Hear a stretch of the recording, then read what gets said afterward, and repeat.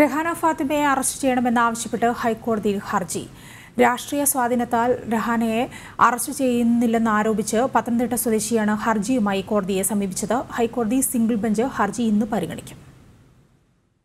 പ്രായപൂർത്തിയാകാത്ത മക്കൾക്ക് മുന്നിൽ നഗ്നതാ പ്രദർശനം നടത്തിയെന്ന കേസിൽ ആക്ടിവിസ്റ്റ് രഹ്ന ഫാത്തിമയെ അറസ്റ്റ് ചെയ്യാൻ അന്വേഷണ ഉദ്യോഗസ്ഥർ തയ്യാറാകുന്നില്ലെന്നാരോപിച്ചാണ് ഹർജി. രാഷ്ട്രീയ സ്വാധീനത്താൽ അന്വേഷണം അട്ടിമറിക്കപ്പെടുന്നതിനാൽ നിലവിലുള്ള അന്വേഷണ ഉദ്യോഗസ്ഥനെ മാറ്റി ജില്ലാ പോലീസ് മേധാവിക്ക് മേൽനോട്ട ചുമതല കൈമാറാൻ ഉത്തരവിടണമെന്നാണ് ഹർജിയിലെ ആവശ്യം.